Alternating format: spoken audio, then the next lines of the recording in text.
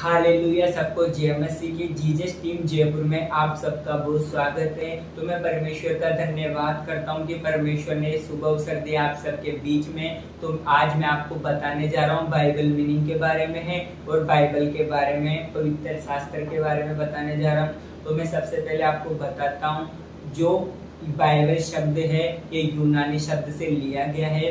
तो अब Bible meaning का मतलब हम देखते हैं। बी यानी बी होल्ड का मतलब होता है, देखो आई आई यानी मैं बी का मतलब होता है बिगनिंग यानी शुरुआत करना, आरंभ करना एल यानी लाइफ यानी जीवन, और लास्ट में आता है इंटरनल इंटरनल का मतलब होता है अनंत, सनातन, कभी नहीं होने वाला, कभी खत्म नहीं होने वाला।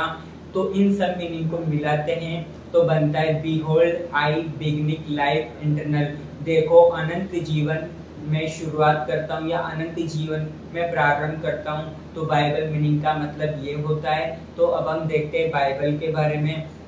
तो बाइबल को पवित्र आत्मा के द्वारा लिखा गया है और बाइबल 40 लेखकों के द्वारा लिखी गई है, जो कि मध्य वर्ग के लोग थे वो, और बाइबल को 1600 वर्ष की अवधि में लिखा गया है। और इस ग्रंथ को दूसरे नामों से भी पुकारा जाता है, जैसे धर्म शास्त्र हुआ, पवित्र बाइबल हुआ, पवित्र शास्त्र हुआ, और और भी कई नामों से इसे पुकारा जाता है। और बाइबल बाइबल छियासठ पुस्तकालय बाइबल के अंदर और बाइबल को दो भागों में बांटा गया है, पुराना नियम और नया नियम। पुराने नियम में उनतालीस पुस्तकें और नए नियम में सत्ताईस पुस्तकें। और बाइबल को तीन भाषा में लिखा गया है, इब्रानी, यूनानी और आरामी। पुराना नियम इब्रानी भाषा में है और नया नियम यूनानी भाषा में है।